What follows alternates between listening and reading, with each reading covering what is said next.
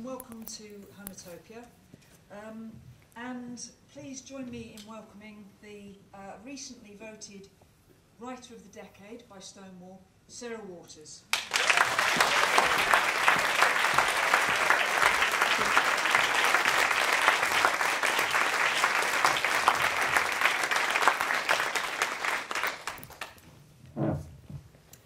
Thank you. Pleasure. Hello. Sorry, let me just do this and then I won't have to do it again. Perhaps I should have introduced myself. Um, I'm Lou uh, and I work for Homotopia. Um, so to start off with, um, I think Sarah's going to read a bit from the book to give us some context for Yeah. what we're going to talk about. Shall I do that? Okay, yes, so I'm going to read it. This is the paying guests. This is my, well, it's not that new anymore, is it? We were saying it's been, it was out last August, so it's just over a year old. Um, yeah, so we thought it might make sense if I, if I read a little bit. Um, and I'm going to read from really early on, so it'll kind of um, contextualise things too. So The Paying Guests is set in 1922, and it's set mainly uh, in a house in South London, a bit of London called Champion Hill in Camberwell, which even today is quite a genteel bit of South London, and it was especially so in the 1920s, but it was kind of under threat by kind of more working class housing, or lower middle class housing really. It was kind of creeping up the hill towards it. The residents there were a bit of a kind of island of solidly middle class and upper middle class life. Um, and here I've, im- I've imagined a house, um, a kind of substantial suburban house with, with two women living in it. Mrs. Wray, who's um, a widow who's lost her sons to the First World War, and her daughter Frances, who's in her 20s, unmarried, on her way to becoming a spinster, although, as we discover later, she has a slightly interesting past. Um, Frances and her mother, like lots of middle class people in this period, they've lost money, they've lost income, and they've lost servants, and they've been obliged to bring in lodgers, and they are the paying guests of the title. They're uh, the Barbers, Mr. and Mrs. Barber, Leonard and Lillian, a young married couple of the clerk class, as it was rather snootily known in, the, in, in this day. It was, uh, you know, lower middle class um, couple. Um, so they've moved in on the Sunday. Frances has watched appalled as their gaudy clerk class furniture has been brought into the house. There's been awkwardnesses on the stairs and the landing and that sort of thing. Frances has found Mrs. Barber, however, to be unexpectedly rather nice. And now it's the Monday morning. Um, Mr. Barber's gone to work. Frances's mother has gone out, and Frances has been doing some housework. She's been washing the hall floor. Mrs. Barber has appeared on the stairs in her nightgown and kimono to ask if she can have a bath. Um, Frances tells her that she and her mother have, have forgotten to light the hot water geyser, so she offers to light it for her. Holds out a hand to help Mrs. Barber across the wet hall floor. Mrs. Barber was on the bottom stair now and clearly doubtful about where to step to. After the slightest of hesitations, she took the hand that Frances offered, braced herself against her grip, then made the small spring forward to the unwashed side of the floor. Her kimono parted as she landed, expo- exposing more of her nightdress and giving an alarming suggestion of the rounded, mobile, unsupported flesh inside. They went together through the kitchen and into the scullery. The bath was in there, beside the sink.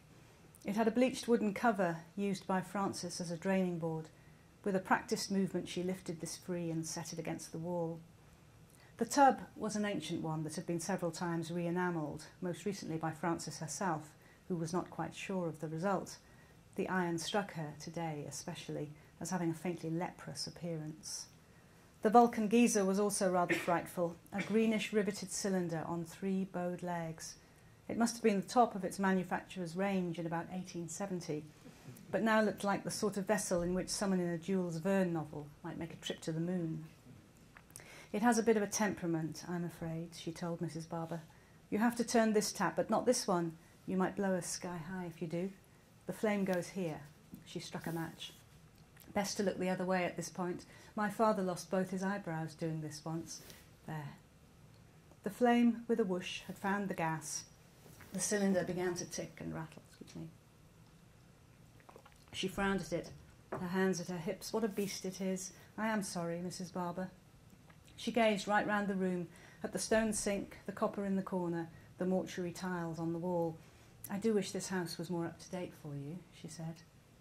But Mrs. Barber shook her head. Oh, please don't wish that. She tucked back a curl of hair. Frances noticed the piercing for her earring, a little dimple in the lobe. I like the house just as it is, she said. It's a house with a history, isn't it? Things, well, they oughtn't always to be modern.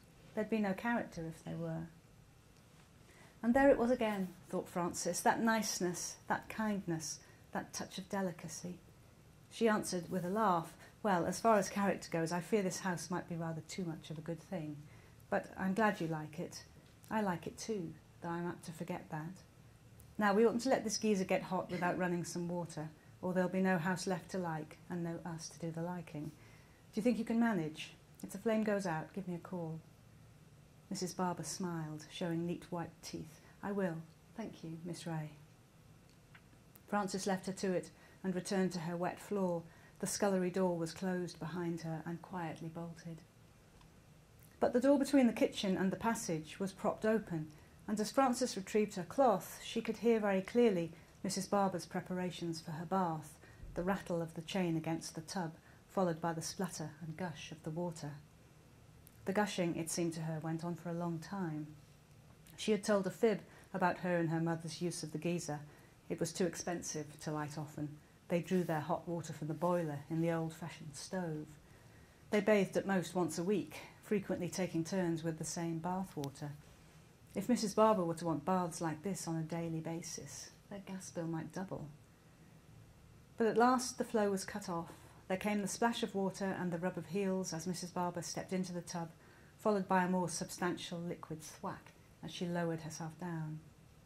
After that, there was a silence, broken only by the occasional echoey plink of drips from the tap. Like the parted kimono, the sounds were unsettling. The silence was most unsettling of all. Sitting at her bureau a short time before, Frances had been picturing her lodgers in purely mercenary terms as something like two great waddling shillings. But this, she thought, shuffling backward over the tiles, this was what it really meant to have lodgers, this odd, unintimate proximity, this rather peeled back moment, where the only thing between herself and a naked Mrs. Barber was a few feet of kitchen and a thin scullery door. An image sprang into her head that round flesh crimsoning in the heat. She adjusted her pose on the mat, took hold of her cloth, and rubbed hard at the floor.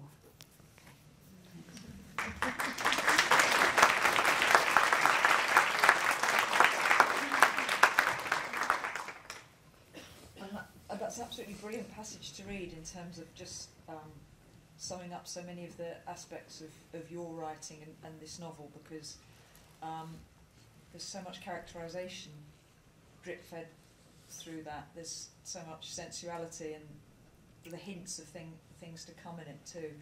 Um, I particularly, I mean, the, the, the issues of class and, Mm. and uh, gender. The, uh, there was one, the, the quote that I really enjoyed was the, um, it was as if a giant moth had sucked a bag of boiled sweets and then given the house a lick, which I think really A giant moth, did you say? A giant. A giant That's, no, that, I'm just picturing like some sort of Jap- Japanese monster flick or something. A giant moth is really much better actually than I actually like me to edit. That's actually me not writing, reading my own handwriting. Yeah. But I did, I mean, that line in terms of trying to, you know, the characterisation of, of, uh, of Lillian, of this slightly vulgar, brash. Well, only we only said it because she's wearing a kimono at ten o'clock in the morning. Um, well, yeah, I mean, yeah, characterization. It's a difficult thing to get a handle on. I find, you know, sort of people who are just starting off writing or creative writing students. They often ask me for tips about characterization, and I find it the hardest thing to e- even theorize. Really, um, plot. You know, I can get my head around a plot um, atmosphere. I feel like I can go about evoking atmosphere. But yeah, I mean, characterization is absolutely key. We really want and need to, to care about the characters in a, fi- in a work of fiction, don't we? Whether it's a novel or a film or whatever. And uh, get, getting your readers to care about your characters or to believe in your characters. And I Um, read, that, I read somewhere, I think, that you weren't particularly fond of, was it Frances or Lillian that you didn't, Well, they took a long time, I think, to come into focus for me. What happened with, I mean, The Paying Guests is, there's kind of a crime at the heart of the paying guests, and we could talk about that maybe in a Mm. bit. But um, when I started it, I knew that I'm not. This is a book it's impossible to talk about without giving things away. But I'm not. I mean, the moment Lillian appears in her kimono, it's not difficult to guess where things are going. So I'm not giving too much away to say that Frances and Lillian they well, they have an affair, basically. Um, and when I first planned the book, and for the first year or two of working on it, I was really interested in, well, really in kind of love as an illusion. You know, I think people often have affairs. It seems like you're, you know, you fall in love with this this person comes into your life by accident, and you can't help yourself. You fall in love with them. You have to have an affair. But I think affairs are often, you know, used really as a way of get, getting out of the relationship you're in, or teaching your partner a lesson, or proving something to yourself. And often I think we have a kind of affair shaped holes in our lives already, you know, for somebody to step into almost. And I was really interested in that, in how Frances and Lillian would, would seem to fall in love and it would be kind of incredibly hectic. And then this terrible thing would happen and their love would sort of crumble away. And I started to write it like that. And Lillian, um, I wasn't sure about Lillian's motives. You know, I wasn't sure what, what Lillian was up to really. She was slightly coquettish. She was slightly unknowable. And I just didn't really like it. It just wasn't, I realised it made for a rather bleak reading ultimately. And so anyway, I remember having a conversation with my agent about halfway through the writing process, which for me, you know, I'm a slow writer, so this was after two years of work. And she'd seen the latest draft and she said, okay, she said, I see this as um, a crime story that's complicated by love. And it was only in her saying that I thought, you know what, this should be a love story that's complicated by a crime. Right. And I thought, yeah, I want it to be actually a proper love story, which was very appealing to me because even though I've often had love and romance um, and desire and relationships in my previous novels, I'd never written what I thought, what I think of as a as a proper romance. By which I mean, you know, we we follow a couple as they fall in love. It's the vicissitudes of love and the, the, the you know their relationship in peril and will they or won't they stay together. So that really appealed to me as an idea, um, and it made me then go back and make the characters um, properly kind of decent, honest, true, in their very different ways. Frances and Lillian, you know, I think they're they've got real integrity, and um, that was I think that's when the novel got came into focus for me, and when the, the two characters came into focus for me too. I began to like them more. That's to answer your question. I yeah, I got there in the end, kind of thing. It's slightly frustrating because I don't. We're aware that we don't want to go into too much about later on in the book and give too much away, but actually, that there is a point later on in the book where you doubt Lillian's motives, or Frances starts to doubt Lillian's Frances motives, starts to. and I actually then started to believe that perhaps Lillian wasn't as she had Yeah. at first. Well, I like that because Yeah, no, yeah, yeah. well, good, good. Um, you know, because I, I sort of, wa- I wanted to keep this original idea I had about Lillian being slightly tricksy and you know what was she up to. I wanted to keep just a little bit of that because the novel is told entirely from Frances's perspective. It's in the third person, but it's all in Frances's head, and I loved the possibilities of that. You know, for a narrative, we we can only ever see what Frances sees. We're trapped in in her responses and thoughts. Um, we might not always agree with them, you know what I mean? But we can't. We never get in Lillian's head. So there is this core of unknowability to Lillian's motives and feelings. And in fact, the cent- central incident, there is a kind of a core, a tiny bit of unknowability to that as well. What exactly has has happened there? Um, and as I say, I like that because you know when we're in love or when we're having any kind of relationship with anybody, we might think we know them inside out. You know, we might think we've lived with you know we've lived them for 20 years. We know all their sort of bathroom habits and things. But there's always there's always that bit of them that you can't know, and that I think when things are going well, you take that in your stride. But if a relationship is put under pressure, it's very easy to become paranoid and anxious, and suddenly that unknowability mutates into all sorts of really scary things. Mm. And I suppose that happens a bit for Frances. I, yeah. That interesting because you just touched on point of view, and that's something that lots of writers struggle with. Um, why did you decide to write this as third person and not as first person? Why is it not Frances's story? Yeah, I think that sort of thing happens really early on with a novel. Um, almost, it almost comes as a bit of a package. Once the novel begins to come to life for you, you sort of have an instinct about how it should be told. I don't know if I even seriously contemplated making it a first-person narrative, and I think I, I think I hadn't thought it through at the time, but I think the reason for that is I didn't want the reader to know that Frances would end up okay. Do you know what I mean? Because if it was Frances telling the story, then we, we would know she had survived in some way, she was doing all right, you know. Um, and that can be useful for some stories, but for this story, when Frances and Lillian become really imperiled in a really, you know, quite major way, I, I, wanted, I didn't want us to know that. In fact, I didn't quite know myself. Even though I, I'm happiest working when I do have a very clear vision of a book. Um, and I did sort of, I could see the skeleton of the plot for this novel from, from quite early on. But as I was really writing some of those scenes, I was, was really worried about, about Frances. You know, I, just, I didn't know which way it Yeah. was quite going to go, which way would end up feeling the best way to do it. So perhaps we should go back to talk about the, the, the genesis of the, the story. And I've got a confession in that I, I bought the book when it came out, started reading it, but made the mistake of reading reviews, and, and, and they referred to the Rattenbury and Thompson cases. Mm, And I had seen Fred and Edie on the telly mm, and thought, oh, I know what happens. And I stopped reading because I thought, I know what happens. That's really frustrating. mm. And then returned to the book and thought, I don't know what happens at all. This isn't.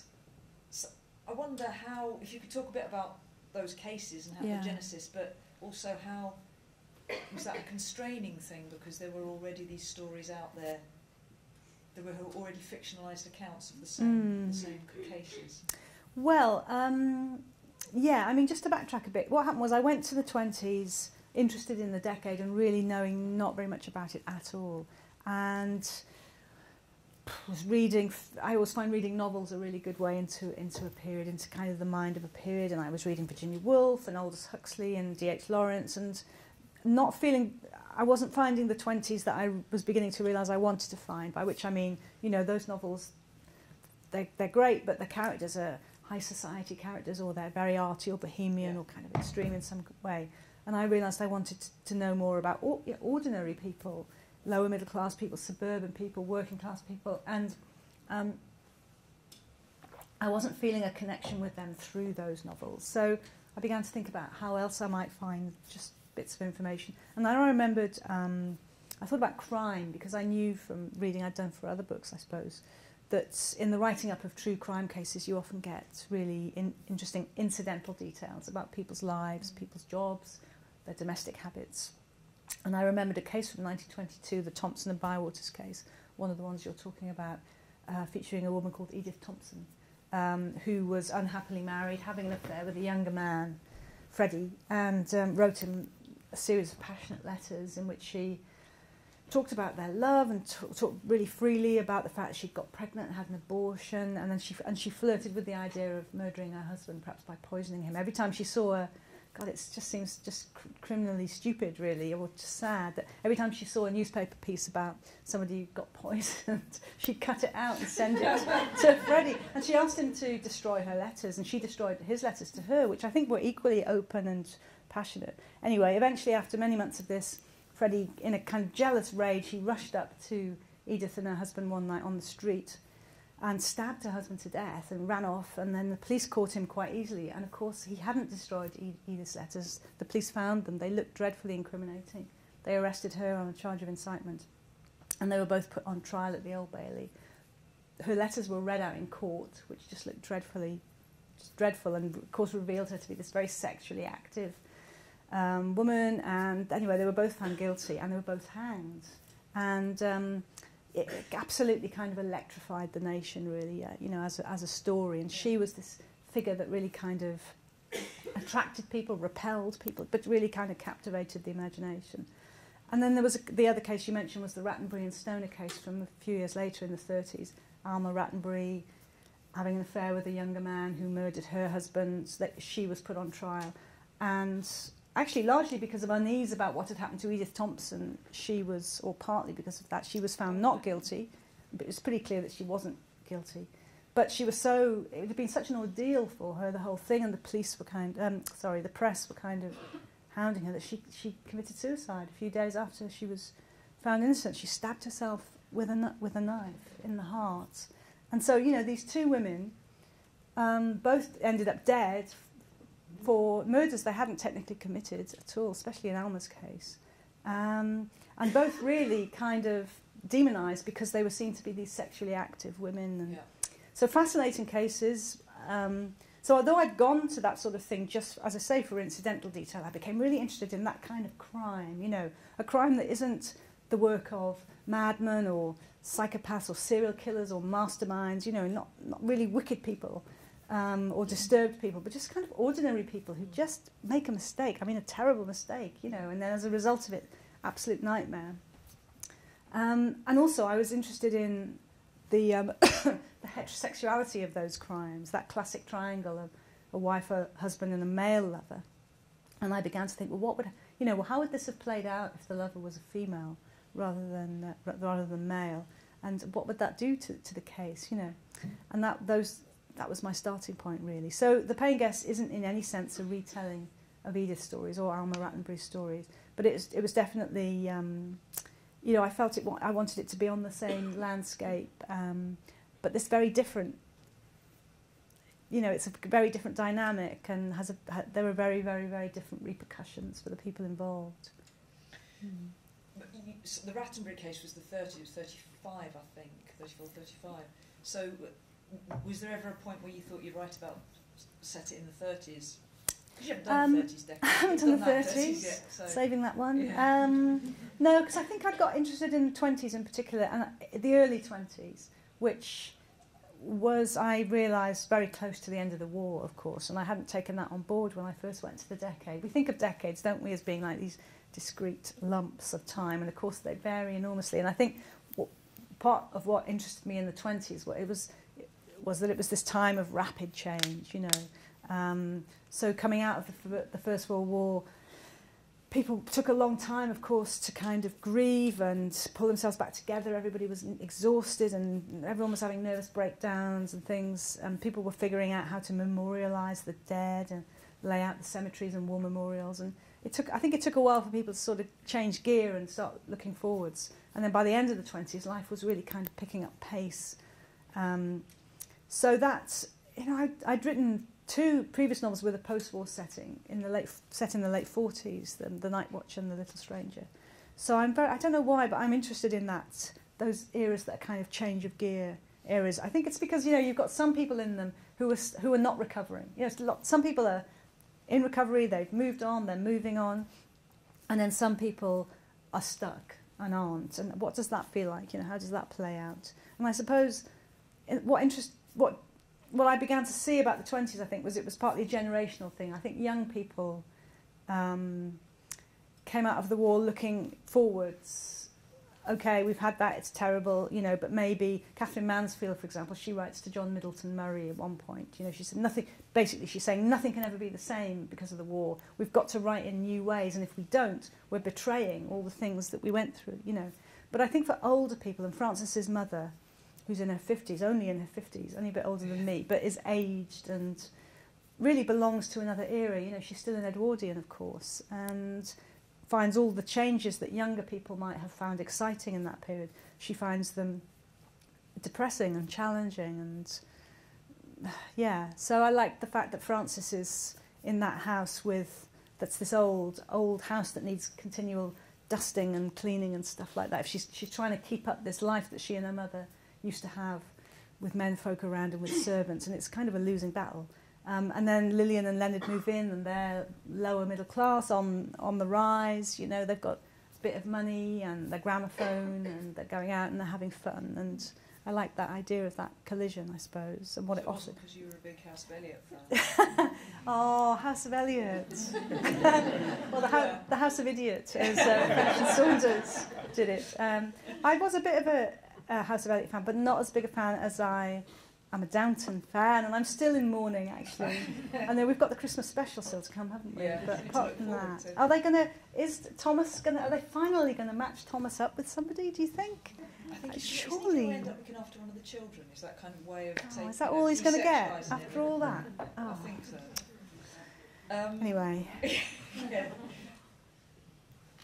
Sorry, I've thrown you off Yeah, there, haven't I? yeah. so no, that's what, so you're talking about the cleaning and the, and the and the fact that you wanted because a lot of the novels that we know of from that period, Bloomsbury Group, for example, it's very upper class Yeah. lives portrayed. And in this book, there is a lot of um, Frances having to come to terms with a with a lower station in life, and and there's a lot about the domestic chores of the time and the Brights and the Roughs, and uh, and, and, I, and I'm interested to how you found that stuff out because that isn't normally the recorded history. We don't we don't get passed on. So where did you uncover that kind of stuff? Yeah, I knew. I began to realise quite early on that Frances would be doing a lot of housework, and I'm not a natural housework doer myself, so I had to really use my imagination here. But I, you know, I, and of course Frances is, would have grown up with, with servants. That's that's the thing, I suppose. Um, that suddenly she's having to do all this work that previously would have been almost invisible to her, I suppose, or you know. So I looked at um, domestic encyclopedias were, were really useful books with titles like you know Inquire Inside. How do you clean brass? How do you get ink stains out of calico? You know all that Yeah, kind of thing. Um, newspapers because because of course this was a hot topic for the middle classes because they were they, they couldn't afford well this is happening in Downton as well isn't it you know, they couldn't afford the servants that they had been used to living with. um, so they had to find, you know, they had to either do their own housework or find ruses for not having to do it. And so there was a great series of articles in the Manchester Guardian, as it was in those days, the Guardian, um, you know, how to and it was basically like, throw away antimacassars. You know just throw anything away that's a dust trap. Just kind of get rid of it. Yeah. put a nice sheet of glass over the top of your dressing table they said which was interesting because I'd thought of that as a kind of 50s thing Yeah. some, for some reason. Put a nice sheet of glass over it, it's easier to keep it clean. Um, so it was a period in which people were talking about this stuff. But um, yeah I thought yeah Frances and then of course it all fell into place for me because Frances is doing all this literal um, tidying up in the first half of the novel, and then things become very become morally very complicated and murky in the second half of the book, and she's kind of doing other kinds of you know she's desperately trying to make, keep things tidy and, and neat. So. th yeah, there's a lot of mess in the book, I suppose. And the button. The button, Well, it, I was just thinking it comes. Yeah, there's a lot of matter out of up and place, and, um, what does that mean? And then, you know, to, to begin with, it's just a question of keeping up appearances, but then it becomes dangerous if the Yeah. wrong thing is in the wrong place. In the second half of the book, that is Yeah. seriously dangerous, you know. So, yeah, I enjoyed, and sometimes as a writer, you can't, you don't see those things emerging until quite late on in the process, and then you can really kind of enjoy them. Oh, yeah, you know, she is a fixer, or she likes to think she's a fixer, and when she can't fix the, when this problem gets too big and complicated for her to be able to fix, she kind of freaks out. So how much of the, in terms of the process, I think um, William Boyd said he writes, he researches for two years and then writes for a year. Mm. How much of the process for, I mean, and there's sort of about three or four years between your, a bit more actually because this took this took I'm embarrassed to say this took about four years to write and that would have been after maybe a year of uh, publicity for the previous book so I think there must be must have been about a six year gap between the books. We were getting quite annoyed we were kind of all sort of like come on when's the next so, book so, like, so was I. Too long a gap. Um, but so, so how long would you say you you spend in preparation before you think, right now I'm ready to sit down and start writing? I find that once I know what I'm looking for, research come, is very productive. So maybe maybe just maybe three three or four months pure research at the start. Certainly nothing like William Boyd's two years. Because what I find happens to me is I begin to um, you know characters and a plot begin to come to life for me. Um, they sort of come out of the research somehow. You know, they're characters who sort of represent issues that I'm interested in or something. Something happens and then I kind of kind of itching to, you know, bring them to life really. Um, so I can do that when I get to a point with research where I feel I can, I've got my basic landscape. You know, I might not know. I remember writing some of the early scenes, and I didn't know what Frances was wearing. I didn't know what she should be wearing. And I didn't know what her underwear was, and I remember that being really unsettling. I felt I really needed to know that, but it, it didn't mean I couldn't start writing because after all, you know, scenes aren't about underwear. I mean, some of them are, but most of them aren't. You know, they're about the dynamics of the people involved. They're about maybe a bit of conversation that's really telling, or so I could write, you know, I could write a the basics of a scene and then, but I keep researching for the whole life of the book really. For me, they're very complementary activities. I can, if I run out of steam at the computer at four, you know, I can turn it off and then read um, for an hour or two. And, re you know, read, as I say, reading novels from a period which, which both give me the kind of mind of the period, but also sometimes give me nice little incidental details. Um, or diaries and letters, that, that was useful for this book. I mean, just published, not, I'm not going through the archives, it's just published stuff. And newspapers were, were very, very good for the paying guests. And again, it's, you know, I was looking at the Times online, so I was sitting in an armchair, but it was fantastically useful to be looking. I could look at newspapers from the, from the actual days I was talking about, so I knew what the weather was like, you know, I knew what was on at the cinema, I knew what was in the news, I could see from the adverts what clothes were on sale in the shops and how much they cost. Um, and when it came to talking about things like crime, I could see how crimes were reported and what the process was. So I would say for this book, more than any of the others, newspapers were really, really good. So do you write in a linear, you, you write the story as it happens? Pretty much. You, you have a really good scene and you write that scene, but then you go back because you... I like to save scenes. If I've, I, often there are scenes I mean, if anyone's read this book, there's, there's a whole couple of chapters in the middle that are very um, meaty chapters. And I, you know, I knew they, I was working towards them, and I didn't want to jump ahead. I wanted to reward myself with those chapters when I felt like I, you know, deserved it by getting them. With this book, I wrote, I, I worked a lot on the first half, um, almost a bit too much, really.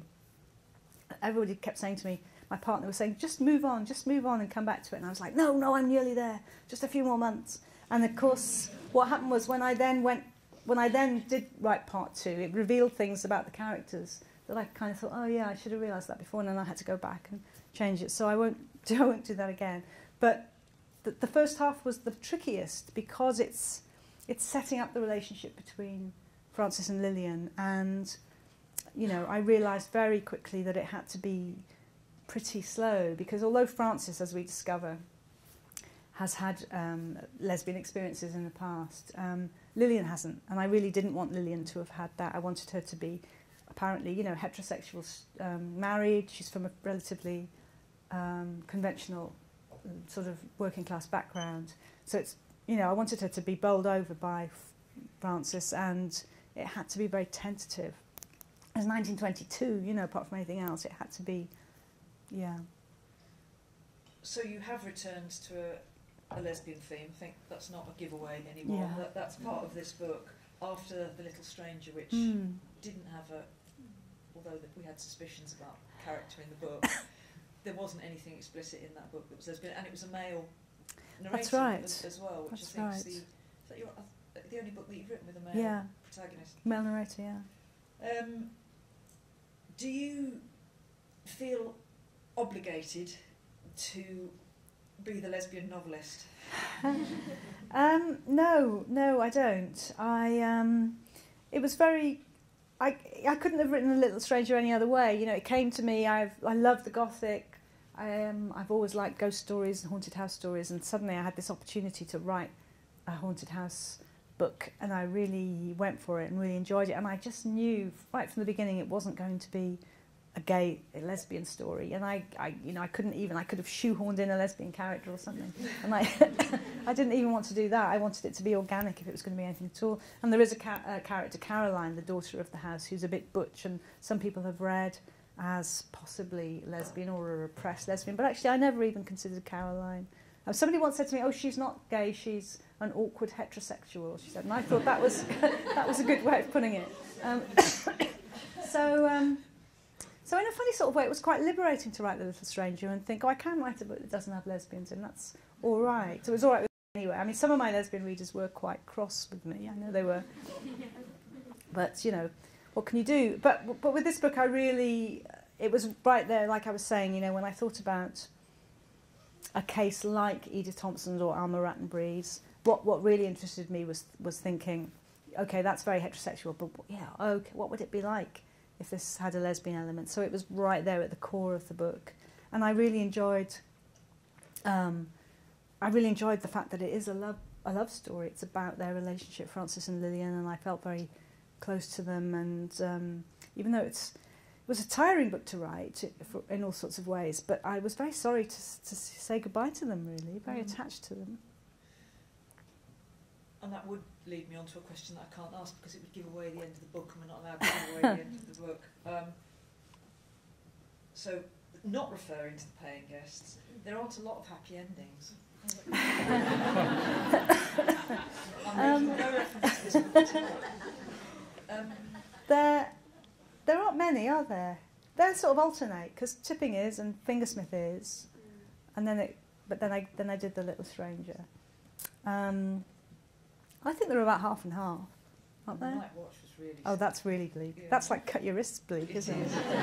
Uh, made worse by that narrative thing you did of backwards first. So you can't even. God, does it get any better because you're going backwards? So you know that as bad as it was at the beginning is how Yeah. it will be at the end. yeah, sorry about that. um, Don't do that again. But that was, a, you know, that for me, that book was, a- again, I suppose that was about the failure of love, which I'd sort of thought this might be. Um, be, yeah, because we, we meet the relationships when they've all gone sour and then we follow them back to that lovely moment when they're just beginning. It's a very, very poignant way of writing about relationships when you go back like that. Um, I know, I do like a bleak ending, but what can you do? I'm not saying I'm not saying anything about this book though. No, I'm because- not saying anything about this book. Um, but I, I mean, I think it's. I think it says something that there are still so few uh, good literary lesbian writers out there that people look to you and, and, and anticipate your books because they want that really good piece of literature that happens to have lesbian characters at the heart of it. Um, and here we are in 2015, and, and Well, it's not as rare as it used to be, is it? You know, I mean, when I started, when I was young and coming out in my 20s, say, so that was like the 80s and early 90s, um, there was loads of lesbian and gay writing around. And actually, and I was going to say, you know, it was not all great, was it? It was not all there were lots of lesbian very inspiring. fiction, detective fiction, and there were but you know, there was some good stuff around. There was there was lots of lesbian sci-fi around, and some of that was actually really interesting. Um, there was there was lesbian detective fiction, which I was a bit less drawn to. There was some good lesbian historical fiction around. Patience and Sarah, do you know that Isabel Mm. Miller, actually from the seventies. That book, Yeah. Fab- fabulous book. Um, Ellen Galford, Moll Cut There was a bar in Manchester, and there were, it was a lesbian bar, and there was a Patience and Sarah toilet, where you could judge who which which Oh, that's toilet you went to. That's really nice. um, yeah, Ellen Galford, who wrote um, Moll Cut Purse. Does anyone remember that? And um, Fires of Bride. Um, there were some good lesbian writers about, and I think it's sad that I think if they were writing now, actually they'd they'd easily cross over into a you know into the mainstream. Yeah.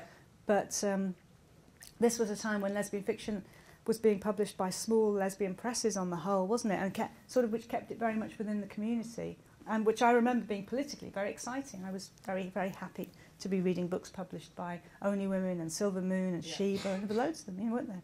Virago, you know, we're doing more like that kind of States. women's press. Naiad. They were um, particular sort. Naiad.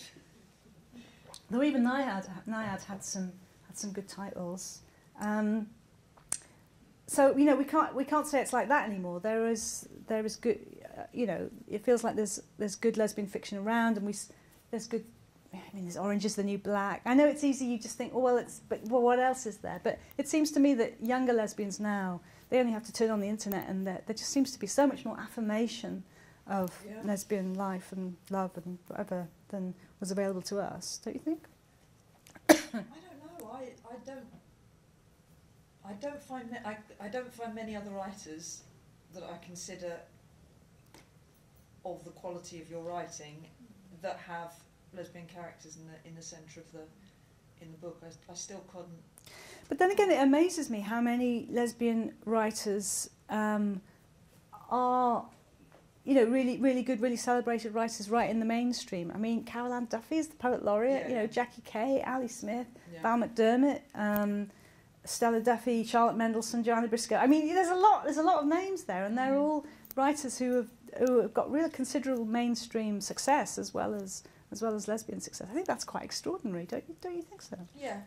You beat Val McDermid in the Stonewall Writer of the I don't think we should talk about beating. I don't think it's. It's not very collegiate. Um, I wonder. So, do you do you consider yourself a political writer? Well, I mean, for all the reasons we've been talking about, I can't, um, of course. Oh, Jeanette Winterson, of course, I should mention as well, who was a big, uh, very inspiring writer for me. Yeah. Um, Emma Donoghue, I know she, we can't claim her as British, especially not now. She lives in Canada. Well, Yeah. we never could, but you know what I mean. Yeah. I felt like she was part of. But yeah, Jeanette Winterson, I remember. Um, of course, I remember Oranges Are Not the Only Fruit. But the book actually that made a huge impression on me was The Passion. Yeah. And part of the reason it made a big impression on me was because I, it was published by Penguin, and I remember picking it up and thinking this is a proper literary book with a penguin on the spine, and it's a it's a lesbian novel, and Yeah. that was a real Yeah. uh, that seemed amazing to me. That you know that she just seemed Jeanette Winston just seemed to come from nowhere and just sh- you know show that lesbian fiction didn't have to be this small sort of genre fiction published in a rather naff cover. You know, it could be something really ambitious and literary.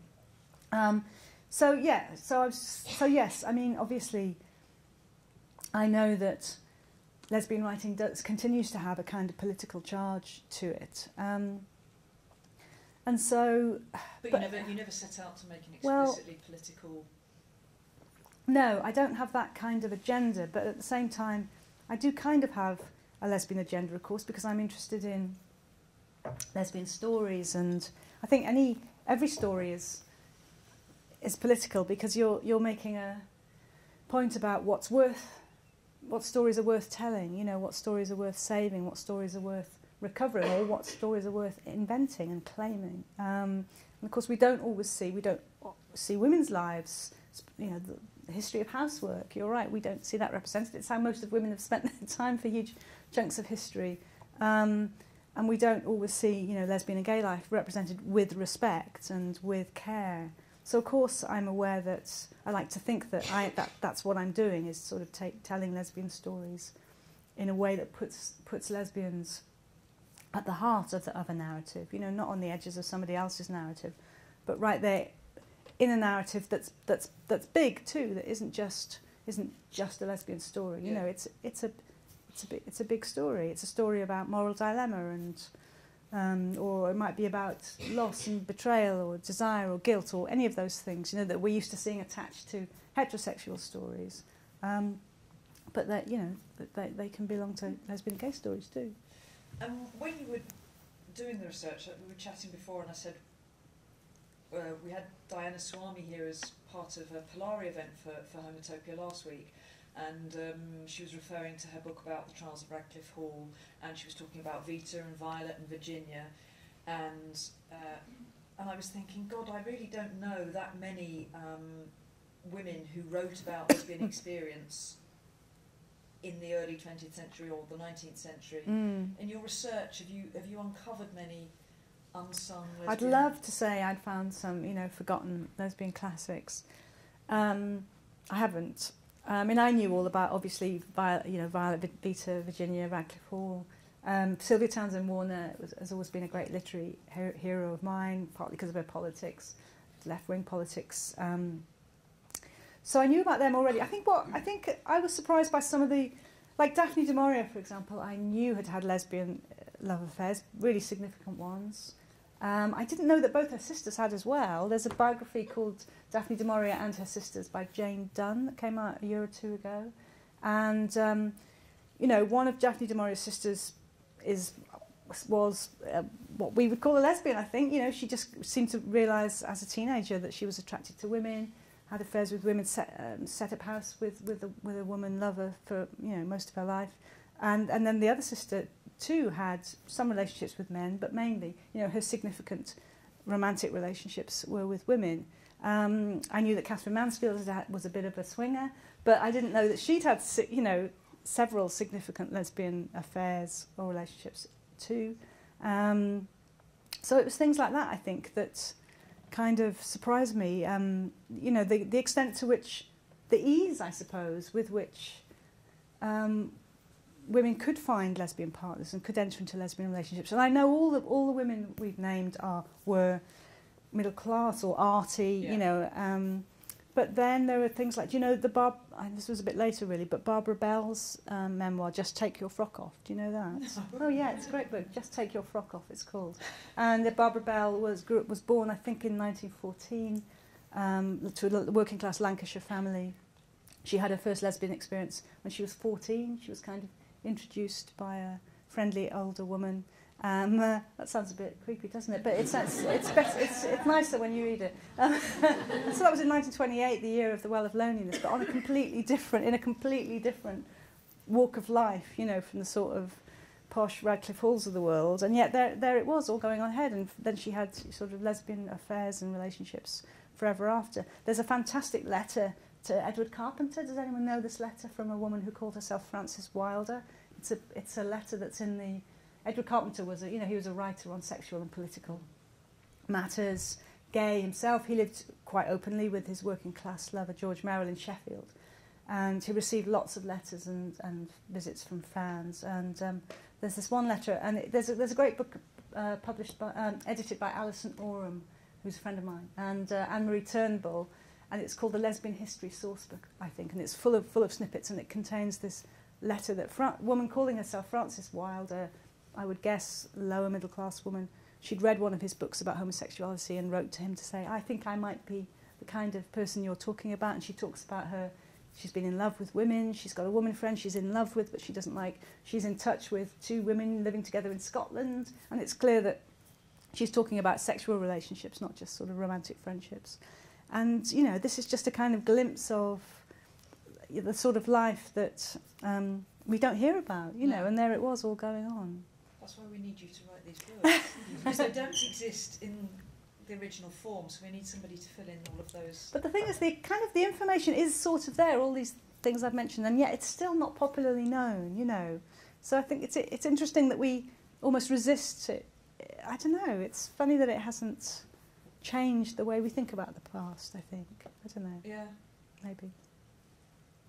Um, mm. How are we doing? Sorry, I'm just conscious of, yeah. Oh. of time Maybe now. we should. Um, yeah, maybe we should uh, throw it open to the floor and ask if um, people in the audience would like to ask Sarah some questions.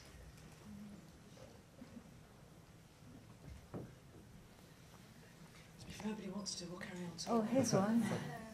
Hi. Um, based on what you just said, have you ever been interested in writing a factual book? Some of the information you've been gathering? Have I ever been interested in writing a factual book? I haven't actually. I think um, I did a PhD thesis about a billion years ago that was sort of a bit about lesbian and gay history, and um, I loved I loved writing it. But once I you know I moved from there to writing fiction with Tipping the Velvet, and once I made that move to writing fiction, it was such bliss to be able to just make things up really that I've never really wanted to go back to non-fiction. Um, I can see the appeal of it, but it's something about stories. You know, I just love storytelling and the way it can and, I, and of course, the thing is, I think you know, s- storytelling is a fiction writing. I think can be a really uh, a, re- a resource, you know, kind of like a political resource, I suppose you're talking about. Um, because in a funny sort of way, because there's so much we don't know about lesbian and gay history that for an, for a historian that's frustrating. You know, there's only so much you can tell. But for a novelist, it's actually really liberating. It's kind of gives you a license to make things up. Really, I think as long as you do it sensitively and try and capture the difference of the past. You know, it's no good just putting modern lesbian and gay people in the past. That's not how it works. That's not what it was like. It, um, the, the appeal of the past for me is that it was a different, it was a different world, and sexuality, heterosexuality as well as homosexuality, was experienced and enacted in, in different ways. You know, that for me is the the excitement of writing historical fiction, really. Mm. Yes.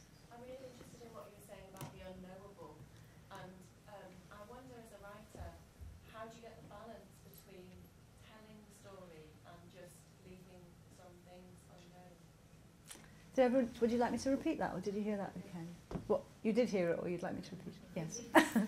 um, that's very interesting, isn't it? And it's one of those things you have to learn, I suppose, as a writer. I think a lot of it has to be instinctive or something. And of course, we all tell stories all the time, and we're always making decisions about what to, what to, how much to tell and how much to leave out. And people who haven't got that facility of being able to leave stuff out, you know, are terrible bores, and you avoid talking to them at party. but most of us hopefully me too, are, are skilled because that's what social interaction is all about, is how much information to release and how much to withhold. So I think we actually all have it very naturally, and writing a novel is just putting those skills at the service of, of something else, really. But it's quite difficult to judge that when you're writing a book. I mean, I mean, I remember writing when I was writing The Little Stranger, which is a ghost story, and I was really hoping to frighten people at times. It's very hard to judge if you're if it's frightening or not because you're right there. You know, you can see. You're like the guy in The Wizard of Oz pulling on the levers. You're you're pulling the levers. You don't know what's on the other side of the curtain. You can't judge the effect of it. Um, but then trying it out on, on readers is crucial there. So I'll often try early drafts out on readers. But I think it does have to be um, a skill you either, uh, yeah, you, you hone. I'll put, put it like that. I think we've all got it, but I think as a novelist, you that's what you're doing. You're honing those sorts of skills, hopefully. And you said, I think, I was thinking about, we haven't talked about Tipping the Velvet and the fact that the play has, has Mm. you said just gone to Edinburgh, I think, and It's just about to finish. was in. London. And, and, uh, and when people work on screenplays of your novels as well previously, the, the experience of seeing a 500 pages of novel translated to 90 pages Yeah. of dialogue or whatever, all that's left out. I mean, all, all of that narrative has been left out and it's just been reduced to. Is that is that quite a sobering experience in terms of? It was. I remember the first time seeing tipping the, the screenplay of Tipping the Velvet, which was as, exactly as you say, ninety pages of very sparse. Have you ever seen a screenplay laid out? You know, it's very sparse. And thinking, oh my God, where's my book? But of course, so much of your book is, you know, what they're wearing and what the weather is and um, what they can hear. And of course, that's all supplied by the costume department and the weather department and the sound department. You know, it's very it's fascinating seeing that happen. And really, a screenplay is about the essence of the story. And, and it was it's been very it's been a real education for me, I think, to see screenplays. It's made me reflect about it's made me reflect on what what the essence of a story is. I mean, God, you wouldn't know it. Look at the size of that. But I mean, I always try and think now about what's really at the heart of this one scene, and it might be just one exchange, you know, just one piece of dialogue that what is is what the scene is all about. Yeah. But you've not been tempted to move into different forms yourself, like for example, write a play yourself. I did do. I did co-write a show, as I prefer to call it, rather than a play, last year uh, called The Frozen Scream with um, my friend Christopher Green, which was absolutely joyous from start to finish. It wasn't entirely successful, um, but things things about it really did work. It, that was at Cardiff and Birmingham. It was a spooky Christmas show, basically, and it was partly um, a straightforward narrative.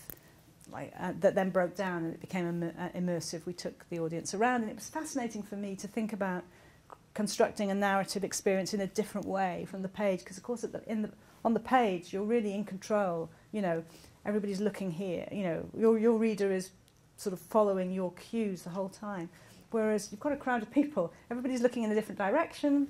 You know how do you get them all experiencing the right narrative cues at the right time? So I really enjoyed thinking about that but I've never no I wouldn't be tempted to do it more seriously I think because it is so different. Creating a um, I mean I think film I think screenplays actually are closer to novels than plays are. I think plays are just a, a you know creating a theatrical effect this is just a very very different thing from creating an effect on the page. I think it just needs a different mind to be able to see it from many different angles. Whereas and of course there is that thing an audience can all be looking at in a different direction. Whereas in a film what you've got very similar techniques to, to a novel. You've got close-ups and you've got long shots and you've got montages, you've got time passing very quickly, you've got time slowing right down. You can direct your audiences in a pretty similar way, I think, to the way you can direct them with a novel. So would you be tempted to do a, screenplay of one of your? No, having said all that, um, I find them. I, I love watching films and thinking about how they work as narratives. Um, but and I can see intellectually it would be interesting to try a screenplay. But I think adapting your own is. Uh, some uh, a, a writer friend said it's like performing surgery on your children. You know, it's you have to be really ruthless. Although I have just seen Room, which is you know the Emma Donoghue novel, has just been made into a film, And Emma herself did the screenplay, and it's really, really good. Is it? It's fantastically good, yeah. So um, author, authors can do it, but I would be wary of doing it myself. I'd almost rather try try it on somebody else, you know, try adapting somebody yeah. else's book, because you need that dispassion, I yeah. think. Yeah. hmm. Any more questions? There's a lady at the back. How much involvement